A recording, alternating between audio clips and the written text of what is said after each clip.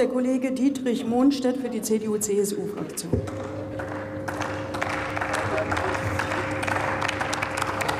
Sehr geehrte Frau Präsidentin, liebe Kolleginnen und Kollegen, meine Damen, meine Herren! Als ich die beiden Anträge, die wir heute diskutieren, gelesen habe, habe ich mich gefragt, was soll das? Erst, am, erst ganz am Ende wird klar, wohin es geht. Den Antragstellern geht es doch gar nicht um die Selbstständigen oder die freiwillig Versicherten. Sie wollen mit uns zum wiederholten Male die Bürgerversicherung diskutieren. Und das machen wir auch immer gern mit Ihnen, im Übrigen auch mit Ihnen, Frau Behrens. Mich wundert allerdings, dass Sie immer noch nicht realisiert haben, dass eine Bürgerversicherung mit einer unionsgeführten Bundesregierung nicht kommen wird, nicht kommen kann, schon aus verfassungsrechtlichen Gründen nicht. Geehrte Kolleginnen und Kollegen der Opposition, Wünsche darf man haben, Wünsche darf man haben. Äh, geehrte Kolleginnen und Kollegen der Opposition, legen Sie doch endlich mal ein tragfähiges Konzept vor, ein Konzept, das die Bürgerinnen und Bürger erklärt, wie sie die verfassungsrechtlichen Probleme lösen wollen. Was ist mit der Eigentumsgarantie des Artikel 14 Grundgesetz? Wie wollen Sie zum Beispiel mit den Altersrückstellungen in der PKV umgehen? Wollen Sie diese den Versicherten wegnehmen? Hierauf wollen die Bürgerinnen und Bürger antworten. Keine Ideologien, Ideologien, die Sie nicht einmal schlüssig äh, erklären können. Antworten auf das Wie sind uns über Jahre hinweg schuldig geblieben. Bis jetzt haben Sie vor diesem Hintergrund rein gar nichts vorgestellt, mit dem man sich nur ansatzweise sachgerecht auseinandersetzen könnte. Hieran sollten Sie arbeiten. Meine Damen und Herren, wir sind davon überzeugt, dass sich das Konzept einer, eines dualen Gesundheitssystems zwischen GKV und PKV bewährt hat. Nur mit diesem Wettbewerb können wir Effizienzreserven im Gesundheitssystem heben.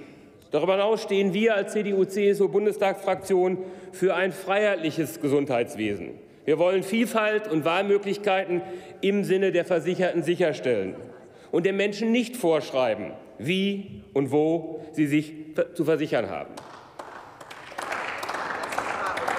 Also lassen Sie uns bitte daran konstruktiv weiterarbeiten und ersparen Sie uns Ihre Schaufenstereinträge. Meine Damen und Herren, seit längerer Zeit diskutieren wir darüber, die Mindestbemessungsgrundlage für Selbstständige abzusenken oder gar abzuschaffen. Mindestbeiträge sind sinnvoll und notwendig, weil niedrige Beiträge nicht kostendeckend sein können. Auch Freiwilligversicherte haben für den umfassenden Versicherungsschutz in der GKV angemessene Beiträge zu zahlen. Ich möchte gerne weiter ausführen. Dies gilt bei Selbstständigen umso mehr, da das Steuerrecht den Selbstständigen anders als Arbeitnehmern eine gewisse Gestaltbarkeit des Einkommens erlaubt. Sie, Frau Kollegin Kleinschmeid, haben dankenswerterweise darauf hingewiesen. Selbstständige können zum Beispiel ihre Betriebsausgaben abziehen. Es werden also lediglich die Nettoeinkommen herangezogen, während die anderen freiwillig versicherten Beiträge auf der Grundlage ihres Bruttoeinkommens zahlen müssen. Diese steuerrechtlichen Möglichkeiten dürfen sich nicht in Form ungerechtfertigt niedriger Beiträge auf die GKV auswirken. Es diene der Beitragsgerechtigkeit, wenn, diese wenn dieser steuerliche Vorteil für Selbstständige durch eine besondere Mindestbemessungsgrenze ausgeglichen werde. So urteilte das Bundesverfassungsgericht schon im Jahre 2001. Es ist rechtmäßig, das Unternehmerrisiko eines Selbstständigen nicht über die Beitragsbemessung auf die Solidargemeinschaft der gesetzlichen Krankenversicherung abzuwälzen, so das Bundesverfassungsgericht weiter.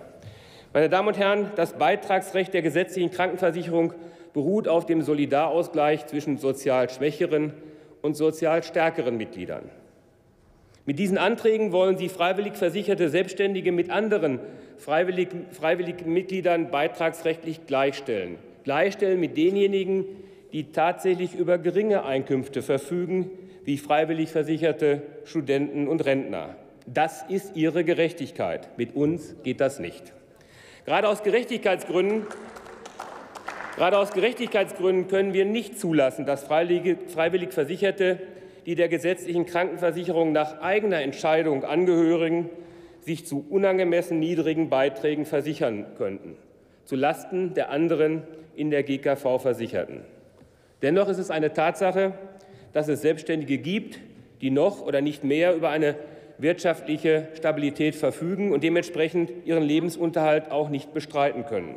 Darauf haben wir bereits reagiert. Mit dem GKV-Wettbewerbsstärkungsgesetz des Jahres 2007 im Übrigen haben wir die Möglichkeit einer verringerten Mindestbemessungsgrundlage geschaffen.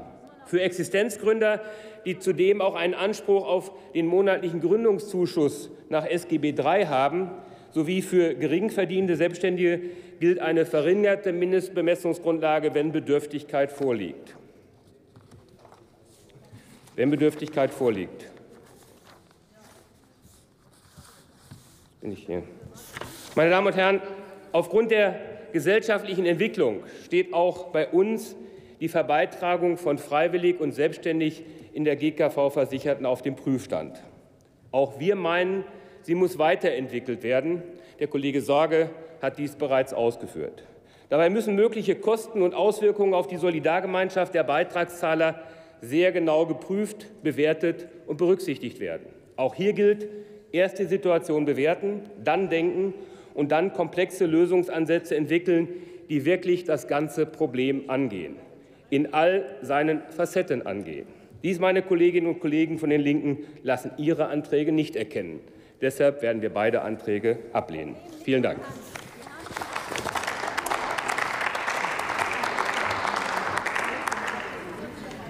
Für die SPD-Fraktion